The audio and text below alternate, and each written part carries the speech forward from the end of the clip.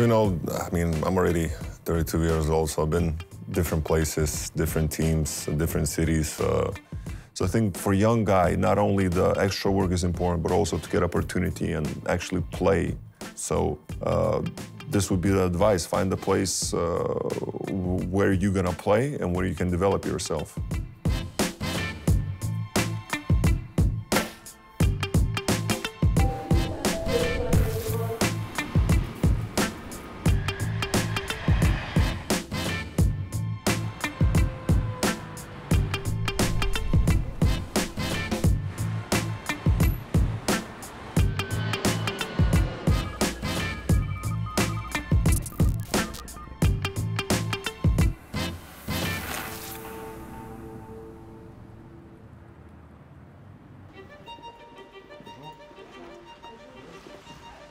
You know, for me to go to every game is like celebration, you know. So, so I try to dress up like it's a, it's a business, you know. Like I'm, I'm, I'm coming to, to, to work, you know. So I try to, I try to dress up properly.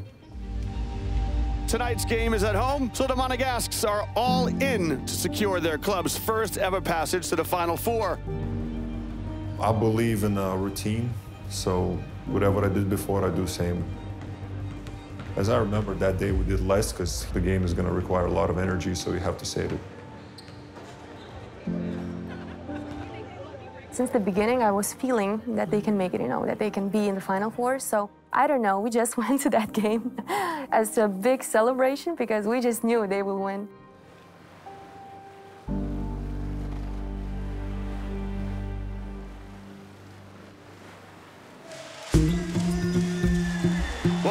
Everyone, and welcome here to a raucous Salle Gaston Médecin. It is the smallest arena on the EuroLeague circuit.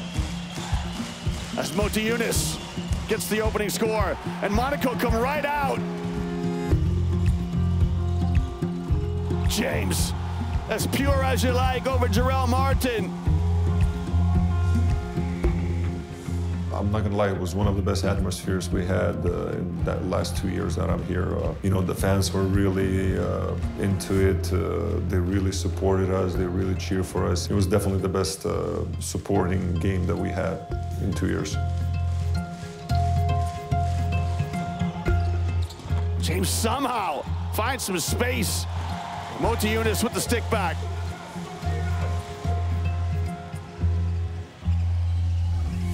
Strategy don't win in those games. You know, you have a basic plan, and then who wants it more? What a stand by Chima Moneke! Diallo, c'est magnifique! You talk about making the Final Four, yeah, it's nice and this and that, but once you actually achieve it, it's amazing feeling.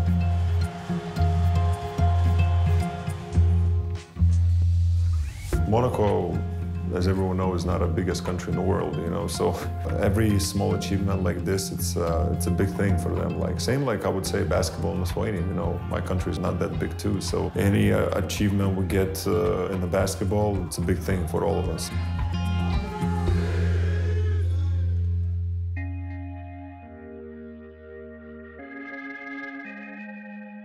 From the first moment I started playing basketball, I said I'm going to be a basketball player. I really actually wanted to, you know, I was ready to put a work in. Because, for example, like I would finish school at like 2 p.m. and then uh, I know like my practice at 5, but I would go at 4 because there is a like um, young team coach who allows me to practice with the younger players for, for an hour. I would go there, play with them, and then I have a practice, like one, one and a half hour, and then after that practice, I would stay another hour to be with the older players. You know, I, I, stayed I stayed in Chicago with my agent to watch the draft. I didn't go there. I got drafted by Minnesota, and you know, I know I work out in different places, and then uh, Houston was one of them. They they really pushed me through the practice, and I didn't give up. And uh, I knew that you know from their side they really like me, but I didn't know that you know during the draft they're gonna trade the pick. So, you know, when Minnesota picked me, I received a call from Houston right away, and they're like, "Yeah, you're coming to us." Press conference, and then, you know, we're gonna move from from there. So I remember that I was 10 years old at back then, or 11, 11 actually. And my parents wouldn't allow me to watch it, but then they woke me up for that moment. When they picked him, of course, I didn't really realize what were these big NBA teams and what was going on. I just knew that NBA was a very big deal for him and how amazing that is and how people, how many people have this huge dream. I remember being very happy for him. I remember wanting to go and visit him. But the hardest part was not being able to see him at least a few times a year. When you're 18, 19 years old and you moved away from the family, you have to learn everything really fast. Every place is different, you know, coming from the Kaunas, going to Italy, you know, from Italy to Poland, from Poland to Houston, you know, then uh, Louisiana. Italy's in Europe is not as not as culture shock. Poland, overall, we have very similar culture. Then going to Houston, Texas, there was a little bit, but you know, not as crazy. But then you go to Asia, to China, where's the the biggest culture shock I was I was having in China. It was very hard to understand how how I should adjust, what I should do, how I should react. For example, in China, it took me good three months for guys around in the team, the local players, to understand that, you know, if you say something mean towards the Chinese player, like they take it personal right away. Because it's not common for them in their culture to, to tease around, you know, to joke around like that, like even harsher jokes, you know. It was definitely a culture shock, but in the end, it turned out to be one of the best experiences I ever had. After the first three months, I think um, I think my charger, uh, iPhone charger broke down, and I, I went to uh, I went to Apple Store. You know, I opened the door, and the little Chinese lady, she was like, like, "Hello, sir, how are you?" I jumped back right away. I was like, "You speak English?" She's like, "Well."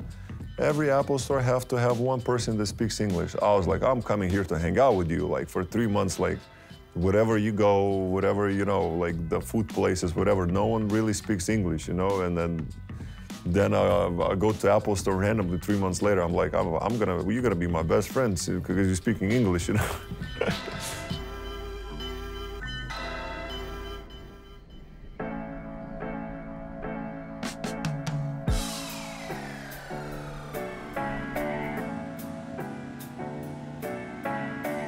The reason why Cassius is named Cassius is I think there's a picture right behind me too. Yeah. So Muhammad Ali his uh, birth name was Cassius Clay. So as soon as the kids found out his name and they knew where the origin came from, they were like, well, he has to have a boxing birthday.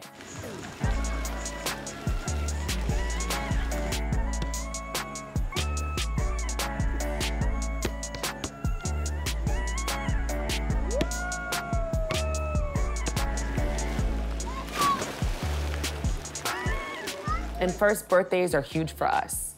You know, we kind of blow it out of proportion. I try to do it big. And I think another thing too is that this is Kyle's first birthday party at home. And I'm like, well, if you're gonna be here for it, you yourself have to experience a Gianna Lawrence event birthday party.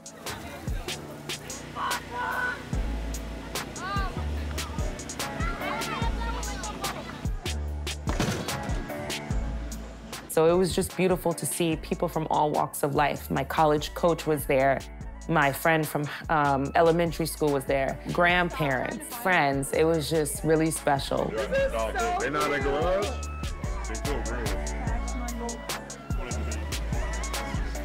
Nobody has ever said a bad thing about Kyle. Like, it's weird.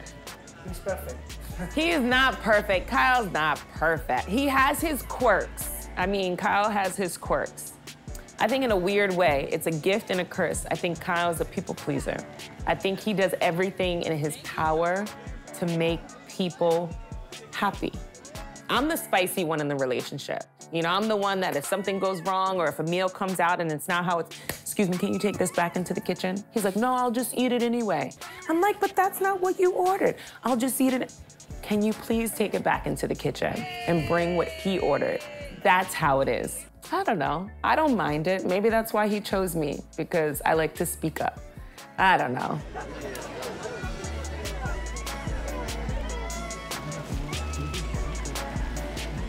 Yesterday's party was for my for my son Cassius. my house is this type of house. You know, it's a it's a house for entertaining. You know, my backyard is always full with people. So it's always a great time, you know, after being away for 10 months, uh, it's a, a great opportunity for me to share this time with my family and friends, and it's something I look forward to and something I really enjoy.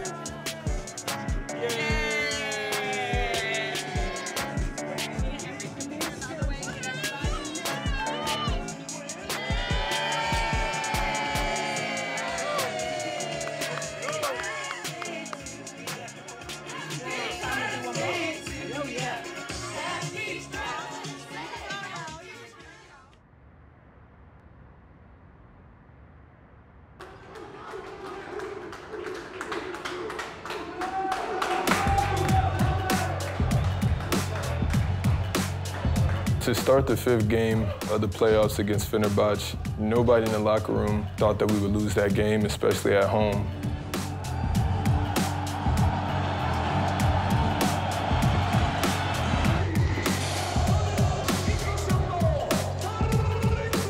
They're an amazing team, um, but with the, the fans that we have, that crowd is, is, I wouldn't want to be on the, you know, opposite side of that.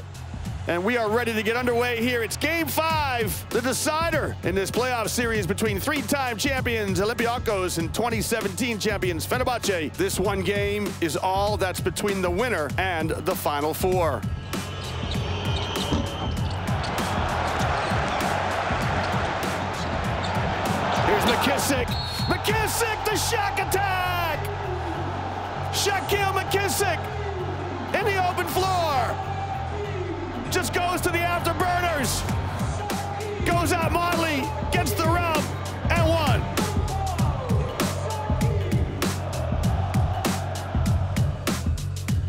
Biggest moment in the playoffs playing against Fenerbahce um, was probably the intensity. Um, I feel like the refs let us play like never before. You know, just sitting in film and watching the game back. You've seen a lot of questionable plays that, you know, the refs will call fouls for during the season, but they let slide in the playoffs, um, which plays to my advantage because, you know, I'm a big physical player. It was some of the best basketball that I was ever a part of throughout my career.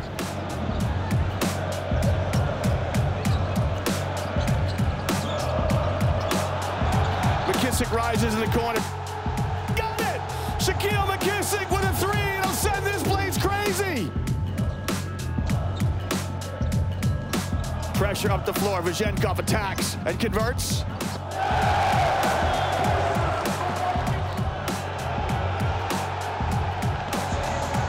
McKissic with a thousand points in his Turkish Airlines early career. Our congratulations to him. And Olympiacos won game five at home, so they go back to the Final Four for the eighth time in club history. We're going there to take the trophy, okay? Yep. We expected to win. Um, so when we did, of course, we were happy, we were elated, and we were just starting to gear up and prepare for the Final Four. Olympiacos! Olympiacos!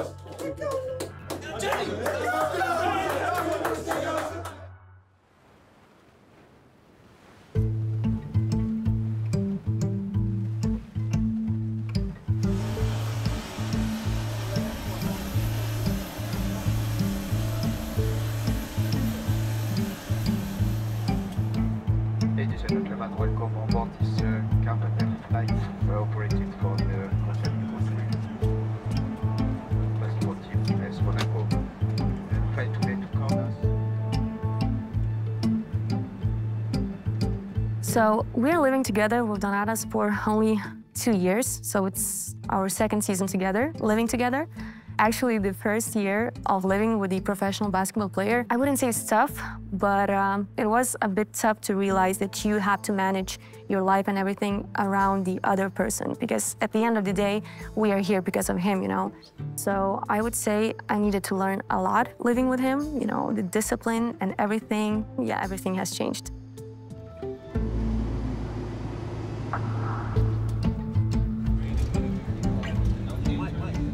During the final four we're driving those streets. You know i was telling everyone I like hey this is where i was born. You know this is where uh, you know the street i was going every day to school to drive by those streets to realize that hey we're playing final four and in my hometown where i actually grew up where i walk all these streets. Just like amazing feeling.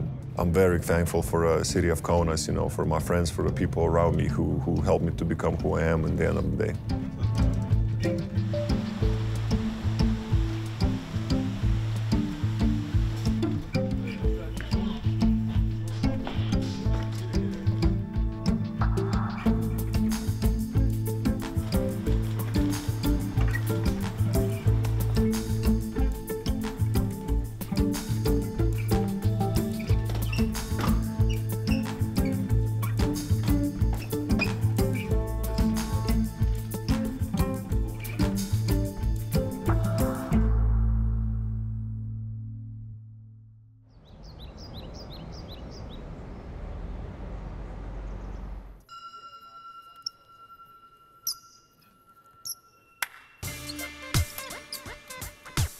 I know, I know a lot of people, if they're not gonna be in the arena, they're gonna be in the pubs, they're gonna be everywhere else. Like I talk already with a lot of people, so they will cheer for us, they support us. So, uh, you know, like I said, I hope for the best.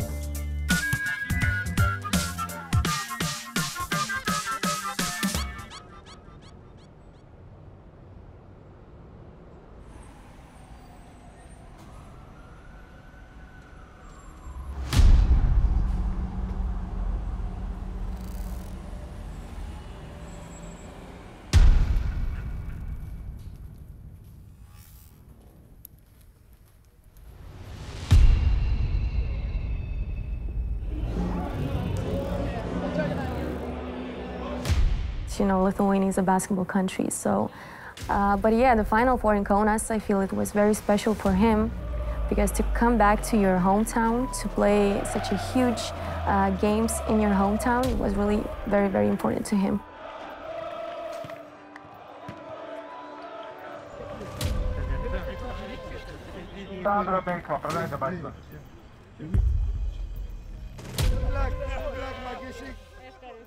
Um, when I arrived to the semifinal, um, I was very proud of Shaq for you know making it there. We did this one once last year, and this was the second time in his career, and I was just so happy for him, but also nervous. You're welcome.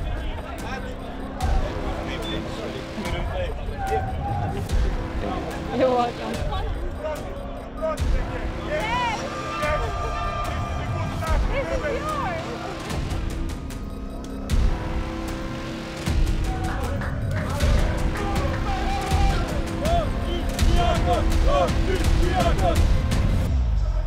We've been here before, you know. This isn't anything new. We have to go out here, we have to take it one game at a time. Last year we lost in the semifinals on the buzzer. Um, so I think the first goal was just making it to that final game where anything can happen.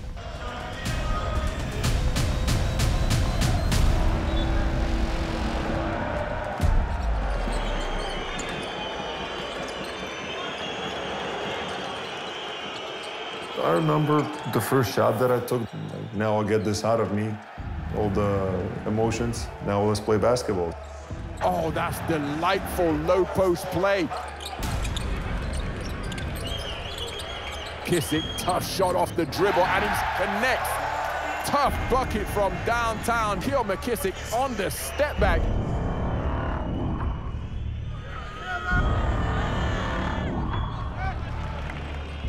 to Elie Okobo. Eliakobo runs into a pincer movement and has his pocket picked. Three on one opportunity, and McKissic finishes on the break. A fantastic start to the second quarter.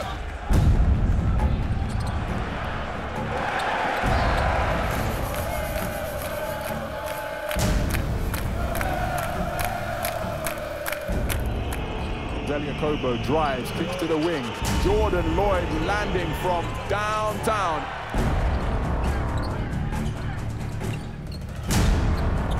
Oh, swatted away by Donta Hall. We took control and they couldn't score nothing. Free throws, nothing. We, we had the control, complete control of the game for the first two quarters. Once again, how about that for help D from Jordan Loyd? Uh, for me, Monaco really came out aggressive, and I feel like we matched their intensity. Um, they had some players really step it up in the first half, and when they stepped it up, we weren't able to climb to that level. No, Mike James, please. With two guys on a run, it still knocks down to three. We were shocked uh, by Monaco's first half play. Not in the fact like they got all the talent in the world. It was just us not rising to the occasion at that particular moment. Ball is loose, it's a bit of a scrum. And it's Jordan Loyd who comes up with it. Elie Okobo stopping in transition and drills it from downtown.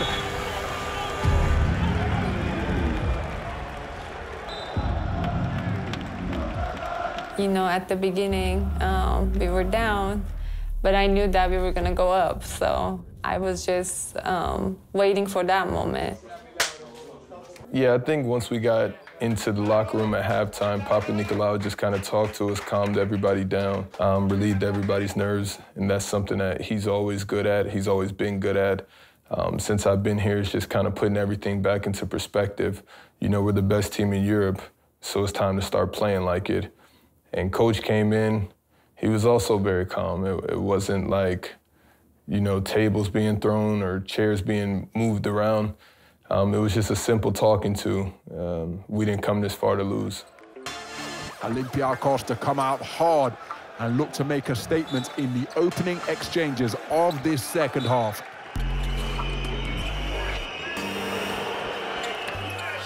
Some things that concern me, and I talked with, uh, with my parents, you know, I talked with my friends that understand basketball. Um, this was not first time we collapsed like that. The big pressure shows the worst out of you, you know? Whatever we did in the first half, we didn't do complete in the second half.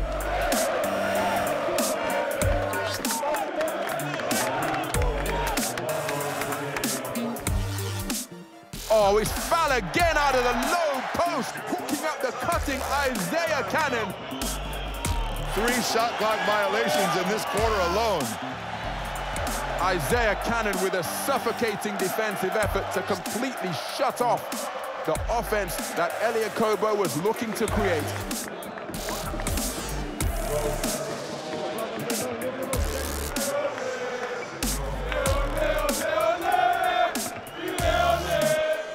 What I remember about the third quarter, I honestly feel like that was probably the best basketball that I've ever witnessed in person. Walkup finds us cutting and dunking. Sasha Vezenkov. What an offload. And the foul.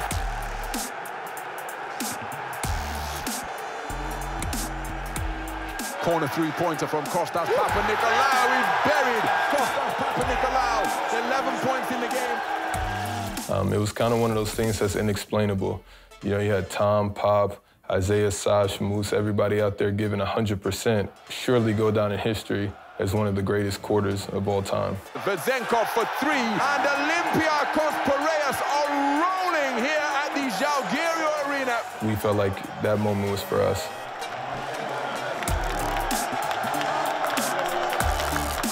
I cried still from happiness at least, so I'm just happy about that.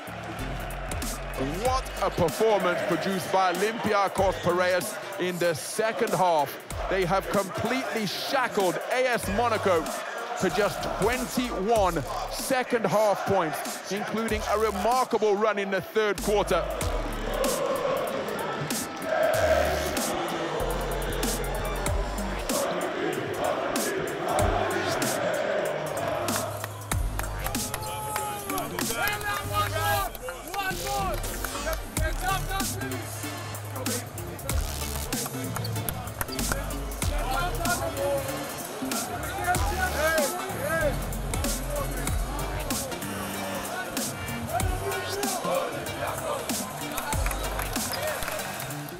I just wanted to run um, to the locker rooms and just give Shaq a hug and, you know, take pictures, post them, just, you know, show off to everybody that we won.